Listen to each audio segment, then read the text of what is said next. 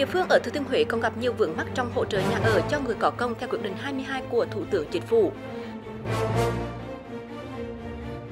Vụ phá rừng tại địa bàn xã sơn thủy, huyện a lưới đã cho thấy rõ những bất cập trong công tác quản lý đất rừng. Câu chuyện đặt ra những giải pháp cho vấn đề lấn chiếm đất rừng tại a lưới, địa phương dẫn đầu toàn tỉnh về diện tích rừng.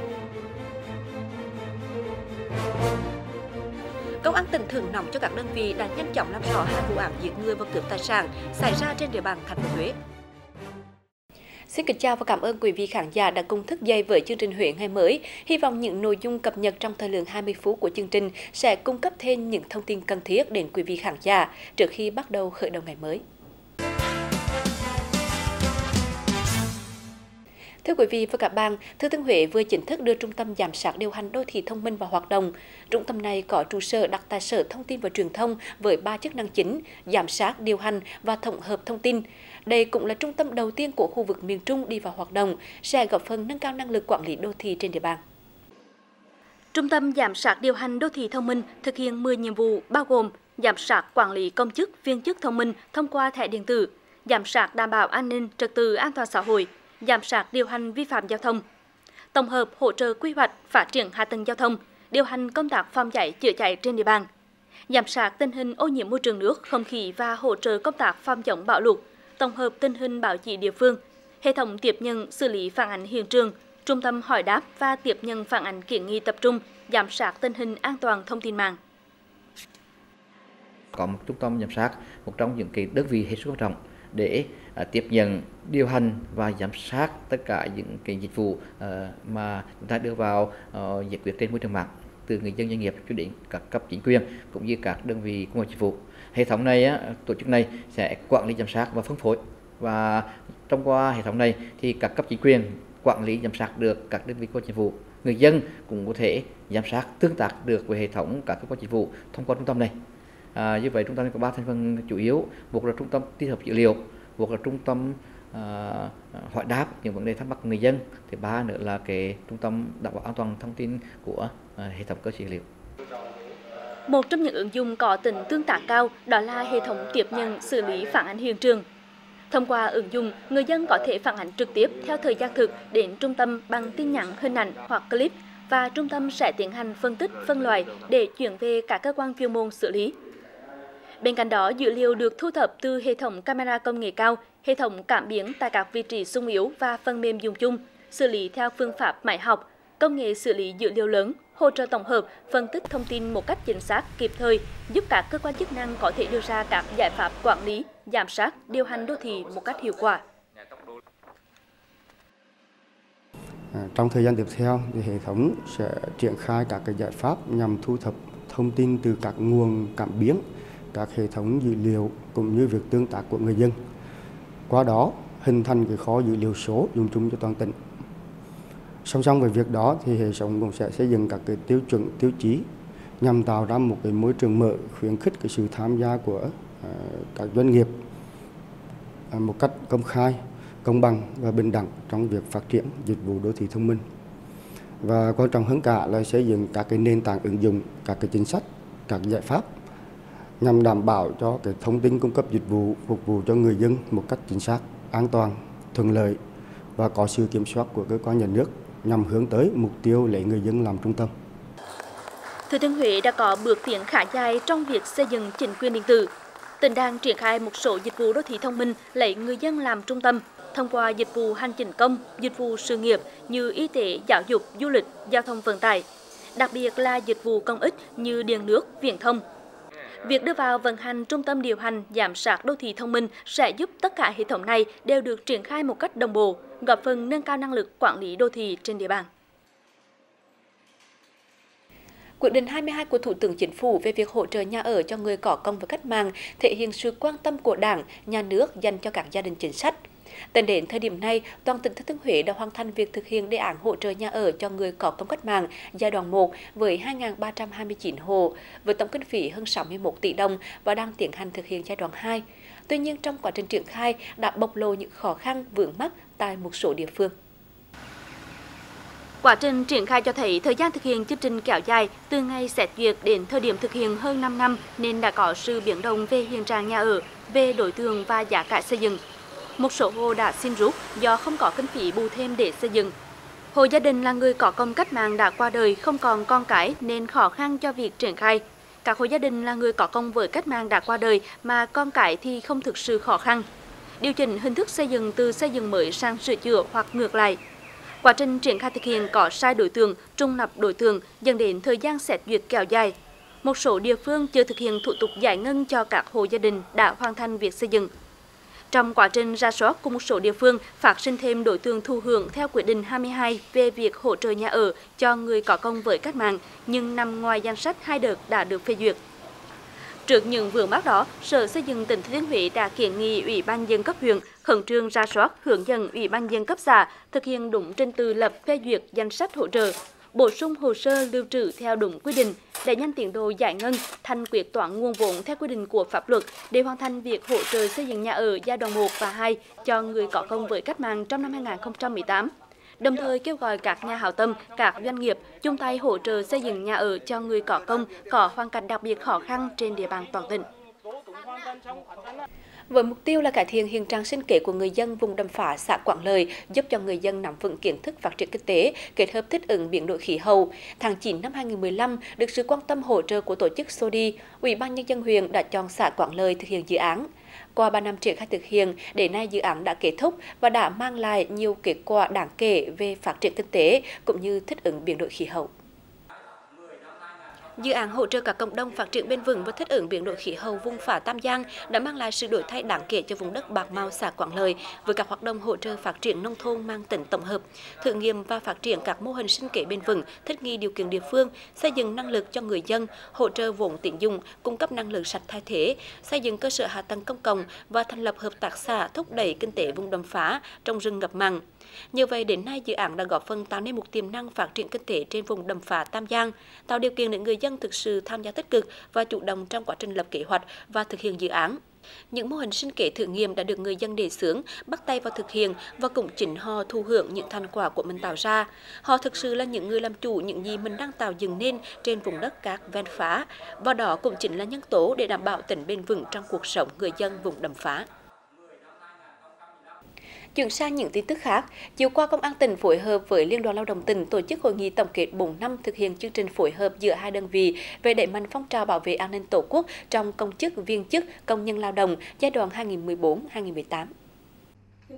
Trong 4 năm qua, lực lượng công an đã phối hợp chặt chẽ với các tổ chức công đoàn, đẩy mạnh công tác tuyên truyền giáo dục, nâng cao nhận thức cho đoàn viên, hội viên và các tầng lớp nhân dân để tham gia đấu tranh phòng ngừa, phát hiện và ngăn chặn tội phạm.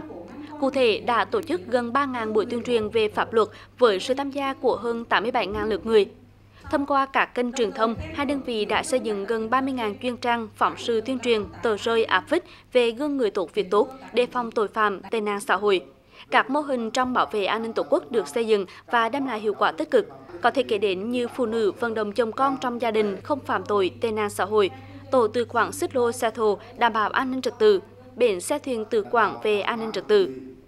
Bên cạnh những kết quả đạt được, phong trào bảo vệ an ninh Tổ quốc cũng còn một số tồn tại cần khắc phục như công tác tuyên truyền chưa thường xuyên nên một số cán bộ viên chức có biểu hiện lơ là, mất cảnh giác. Công tác phối hợp giữa các cơ quan chức năng đôi khi còn thiếu đồng bộ. Trong thời gian tới, Công an tỉnh và Liên đoàn Lao động tỉnh sẽ tiếp tục triển khai các hoạt động phối hợp với nhiệm vụ trọng tâm là nâng cao chất lượng hiệu quả của phong trào toàn dân bảo vệ an ninh Tổ quốc, bám sát từng địa bàn để có phương án phù hợp, khắc phục các tồn tại thiếu sót để làm chuyển biến mạnh mẽ phong trào từ tỉnh đến cơ sở. Trước đó trong buổi sáng cùng ngày, Công an tỉnh đã tổ chức khen thưởng cho các đơn vị đã nhanh chóng làm rõ hai vụ án giết người và cướp tài sản xảy ra trên địa bàn thành phố Huế. Đây được xem là chiến tích xuất sắc của công an các đơn vị lập thành tích chào mừng kỷ niệm 56 năm ngày truyền thống của lực lượng cảnh sát nhân dân 20 tháng 7. Sau khi nghe chỉ huy công an thành phố Huế và phòng cảnh sát hình sự báo cáo về hành trình truy bắt nhóm đối tượng có hành vi giết người gây xôn xao dư luận xảy ra tại đường Lê Quý Đôn và phá nhanh vụ án cướp tài sản manh động liều lĩnh xảy ra tại số 1 đường Đảng Huy Trứ. Thay mặt Đảng ủy, Ban giám đốc công an tỉnh, Đại tá Lê Quốc Hùng đã biểu dương và khen thưởng công an các đơn vị địa phương. Trước đó, ngay khi vụ án xảy ra, Ban giám đốc công an tỉnh đã trực tiếp xuống hiện trường, nhanh chóng chỉ đạo công an các đơn vị địa phương huy động lực lượng phương tiện vào cuộc điều tra truy xét nóng đối tượng như vụ án đường Lê Quý Đôn, lực lượng công an còn huy động cả chó nghiệp vụ vào cuộc. Công an các đơn vị nắm chắc tình hình, nắm chắc địa bàn nhờ sự giúp đỡ của nhân dân đã có sự phối hợp chặt chẽ, đồng bộ và kịp thời trong công tác phá án. Do vậy, các nghi can đã nhanh chóng bị bắt giữ chỉ sau ít giờ gây án. Cũng trong sáng qua, Công an tỉnh Thừa Thiên Huế tổ chức khai mạc lớp tập huấn điều lệnh quân sự võ thuật công an nhân dân đối với lãnh đạo cấp phòng, cấp huyện, thị xã, thành phố và tương đương lần thứ nhất. Lớp tập huấn có ý nghĩa quan trọng nhằm trang bị cho lãnh đạo nắm vững kiến thức, thực hành thành thạo chuẩn xác các động tác điều lệnh đội ngũ, nghi lễ quân sự và võ thuật công an nhân dân. Qua đó, cán bộ chỉ huy công an các đơn vị ngày càng nâng cao năng lực kỷ cương, quân phong, quân kỷ, chính quy, tinh nhuệ, khả năng sẵn sàng chiến đấu. Phát biểu tại buổi khai mạc lớp tập huấn, lãnh đạo công an tỉnh yêu cầu ban huấn luyện lớp học cần tích cực huấn luyện, các đồng chí tham gia tập huấn cần chấp hành nghiêm túc nội quy, tận dụng hết thời gian để rèn luyện thực hành. Sau khi kết thúc khóa tập huấn trở về đơn vị sẽ tiếp tục chỉ đạo nâng cao hơn nữa về chất lượng trong công tác điều lệnh quân sự võ thuật ở các đơn vị địa phương. Thưa quý vị và các bạn, sau phát hiện của nhóm phóng viên thời sự về vụ phá rừng tại xã Sơn Thủy, huyện A Lưới, lực lượng kiểm lâm, chủ rừng và chính quyền địa phương hiện đang tiếp tục làm rõ và xử lý kiên quyết. Vụ việc tại tiểu khu 292 địa bàn xã Sơn Thủy đã cho thấy rõ những bất cập trong công tác quản lý đất rừng bởi nó diễn ra trong một thời gian dài và địa điểm cũng rất gần trung tâm bộ đỏ. Vậy có còn những cảnh rừng khác nữa không đang phải đối mặt với nguy cơ xóa sổ? Phóng sự sau đề cập đến thực trạng và giải pháp cho vấn đề lấn chiếm đất rừng tại A Lưới, địa phương dẫn đầu toàn tỉnh về diện tích rừng. Ban quản lý rừng phòng hộ đầu nguồn A Lưới cho biết, nhu cầu về gỗ ngày càng lớn đã khiến áp lực dựa vào rừng gia tăng nhanh chóng. Các hành vi vi phạm ngày càng tinh vi và manh động hơn. Trong khi đó, lực lượng của chủ rừng cũng như lực lượng kiểm lâm trên địa bàn vẫn còn khá mỏng và sự phối hợp chưa chặt chẽ. Do cái địa bàn hết sức phức tạp và rộng lớn, trong khi cái lực lượng kiểm lâm thì ờ, rất là mỏng. Một đồng chí kiểm lâm ở đây thì đất trung bình là từ 5.000 đến 7.000 ờ, hecta rừng. Ngoài ra thì uh, ngoài cái địa bàn là, là, là rộng ra thì còn rất là phức tạp. Các cái đối tượng hiện nay thì nó rất tinh vi, cho nên không tránh khỏi cái cái sơ suất, họ sẽ sẽ lợi dụng lực lượng mỏng, địa bàn rộng. Chính vì vậy, giao đất, giao rừng cho người dân quản lý, khai thác được xem là giải pháp phù hợp. Thời điểm này, Ủy ban nhân dân huyện đã bàn giao được hơn 20.000 hecta rừng tự nhiên cho các tổ chức, cộng đồng dân cư, thôn, nhóm, hộ gia đình và cá nhân quản lý, bảo vệ, đạt gần 84% kế hoạch. Tuy nhiên, trên thực tế, không ít vụ xâm hại rừng tự nhiên xuất phát từ chính những hộ được giao đất. Nhu cầu từ rừng ngày càng lớn, cùng với những bất cập trong công tác quản lý đã khiến tình trạng phá rừng khai thác lâm sản, đốt rừng làm nương rẫy ngày càng phức tạp. Về cái khai thác cũng như là về cái là phá rừng làm nương rẫy thì là một số người dân thì đa số cái người vi phạm là những cái hộ dân nghèo, ờ, đời sống kinh tế rất là khó khăn. Và người ta là ờ, vào rừng người ta lấn chiếm, người ta lấn chiếm những diện tích nhỏ. Thì theo thống kê thì đầu năm 2018 chúng tôi đã xử lý 16 vụ lấn chiếm. Hiện nay ờ, các tổ chức ờ, như các cái ban quản lý rừng phòng hộ, ờ, các cái công ty lâm nghiệp đang thực hiện bàn giao đất cho các địa phương. Tuy nhiên một điều hết sức khó khăn đó là do cái công tác quản lý của các cái tổ chức này rất là yếu nên để người dân sự lấn chiếm và sử dụng trái phép. Một trong những nguyên nhân quan trọng khiến thực trạng phá rừng ngày càng phức tạp nằm ở khâu xử lý những vụ việc vi phạm theo thống kê của Ủy ban dân huyện, trong 6 tháng đầu năm đã có hơn 90 vụ vi phạm lâm luật được ghi nhận. Tuy nhiên, chỉ xử lý được 22 vụ, do 68 vụ còn lại không có người nhận. Điều đó cho thấy công tác đấu tranh trước nạn lâm tặc hoành hành vẫn còn gặp rất nhiều khó khăn. Vấn đề um, phá rừng, um, khai thác rừng uh, trái phép uh, vẫn diễn ra và đây là một vấn đề hết sức nhức nhối. Và hiện nay thì huyện đang tập trung Ờ, chỉ đạo lực lượng kiểm lâm ờ, tiếp tục làm tốt cái công tác quản lý bảo vệ rừng và sẽ ờ, xử lý nghiêm các cái trường hợp vi phạm. Tới đây, huyện A Lưới đưa ra xét xử hình sự một vụ phá rừng của một cá nhân. Nó không chỉ đánh dấu lần đầu tiên sau nhiều năm các đơn vị chức năng thực hiện tổ tùng cho loại này trên địa bàn, mà còn cho thấy quyết tâm mới của huyện A Lưới. Hy vọng cùng với những giải pháp siết chặt kỷ cương, tăng cường hiệu lực, hiệu quả trong lĩnh vực quản lý bảo vệ rừng, Tình trạng phá rừng đầu nguồn tại A Lưới sẽ dần được kiểm soát, kiềm chế trong thời gian tới. Tiếp tục là một số thông tin khác. Trong 6 tháng đầu năm, nhân dân huyện Nam Đông tích cực hưởng ứng phong trào và thực hiện các phân việc thuộc trách nhiệm của mình thuộc chương trình xây dựng nông thôn mới. Đến nay toàn huyện có 5 xã đã được công nhận đạt chuẩn nông thôn mới. Đến nay, toàn huyện Nam Đông có 5 xã đã được công nhận đạt chuẩn nông thôn mới. Tuy nhiên, theo quyết định 1980 của Thủ tướng Chính phủ về quy định Bộ Tiêu chí Quốc gia về xã nông thôn mới giai đoạn 2016-2020, thì 5 xã đạt chuẩn nói trên chỉ đạt từ 13 đến 17 tiêu chí, các xã còn lại đạt từ 9 đến 13 tiêu chí. Trong đó có hơn 237 hộ đầu tư làm mới và nâng cấp nhà ở, huy động gần 3.400 ngày công làm đường giao thông, vệ sinh môi trường. Cùng với đó, huyện đã đầu tư kêu gọi đầu tư phát triển hạ tầng, kinh tế xã hội là hơn 82 tỷ đồng. Bên cạnh những thuận lợi vẫn đang còn một số khó khăn mang tính đặc thù miền núi như thu nhập bình quân tăng chậm, tỷ lệ hộ nghèo còn cao, chưa có giải pháp xóa nghèo từng hộ, 8 trên 10 xã chưa có hợp tác xã. Sau tháng cuối năm, phần đầu 1 đến 3 xã là Thường Quảng, Thường Nhật và Thường Lộ đạt chuẩn nông thôn mới, nâng cao số lượng tiêu chí đạt chuẩn ở các xã còn lại, đồng thời đẩy mạnh phát triển sản xuất, nâng cao thu nhập, giảm tỷ lệ hộ nghèo trên địa bàn. Sáng qua, Văn phòng hỗ trợ du học DDC chính thức khai trương đi vào hoạt động tại trường Trung học phổ thông Quốc học Huế. Đây là chi nhánh thứ tư của công ty trách nhiệm hữu hạn đầu tư quốc tế Đại Đề tại trường Trung học phổ thông Quốc học Huế, một môi trường danh tiếng với truyền thống hiếu học của cả nước. Thời gian qua, công ty đầu tư quốc tế Đại Đê đã định hướng cho ngành trường ghi danh xin thư nhập học, tìm nguồn học bổng cho hàng trăm học sinh, sinh viên trên địa bàn tỉnh. Đây cũng là đơn vị tiên phong đào tạo chuyên biệt Anh ngữ du học như IELTS, SAT và GRE, GMAT tại địa phương với giáo trình chuẩn hóa College Board, Kaplan, McGraw Hill, giúp học sinh đạt kết quả tốt nhất khi du học. Công ty chính thức trở thành thành viên của tổ chức du học quy mô quốc tế là ICEF và là đối tác chính thức của hàng trăm trường các nước Mỹ, Úc, Canada, Anh, Singapore. Hiện nay, công ty trách nhiệm hữu hạn đầu tư quốc tế Đài Đê hướng đến trở thành doanh nghiệp xã hội. Ngoài hoạt động chuyên môn, công ty đã và đang thực hiện nhiều hoạt động cộng đồng. Văn phòng hỗ trợ du học DDC tại trường Quốc học Huế đi vào hoạt động sẽ là cầu nối giúp các em học sinh tại trường Quốc học nói riêng và học sinh sinh viên trên địa bàn tỉnh nói chung có cơ hội tốt trong việc tiếp cận các trường học quốc tế.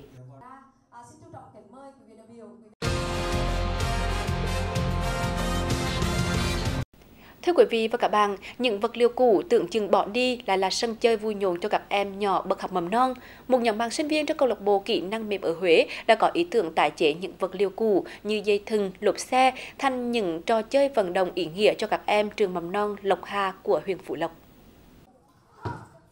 Đây là sân chơi từ vật liệu tái chế của các bạn sinh viên trong câu lạc bộ kỹ năng mềm của trường Đại học Kinh tế Huế tại trường mầm non Lộc Hà, huyện Phú Lộc. Từ những vật liệu bỏ đi như dây thừng, lốp xe, qua bàn tay khéo léo của các bạn trẻ được tận dụng thành những trò chơi thú vị như thế này.